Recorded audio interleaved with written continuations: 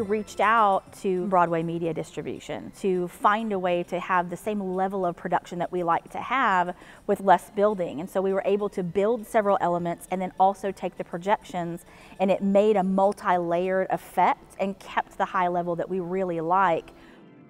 The opening of the show starts in the graveyard we go from our front screen to our back screen. We light up the graveyard, put the Addams family in silhouette, and then the whole projection starts moving. So the audience feels like you feel like you're moving into the projection the gate is flying past you, and as, as the gate opens and it flies past you, and you go into the graveyard, then we're able to open up on the addams family there. We're using more than one projector. We have more than one image cue from Broadway Media Distribution that's running off the light board. So we have a screen that comes down, and one projector is going, and then when the screen goes up, the other projector takes over the students really learned how to time things and mixing it with the music as well, timing the music to end it and start in certain places with the projections was actually a lot of fun.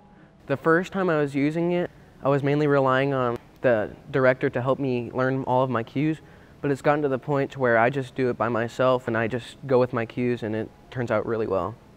There is a minor learning curve in the very beginning figuring out how to properly run it, but as soon as you do, is incredibly easy and it takes maybe minutes to figure out how to do it properly. It's, it's perfect.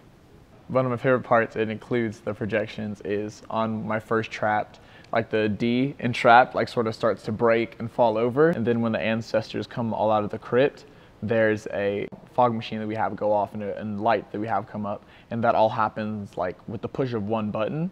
It's just, it's amazing. Especially for somebody who might be nervous about trying projection for the first time, this is a perfect company because they will kind of hold your hand and walk you right through it. I'd like to shout out to Chance. he was the representative from BMD and he was so helpful. We really needed their help and they really came through in a pinch. They care about more than just their product.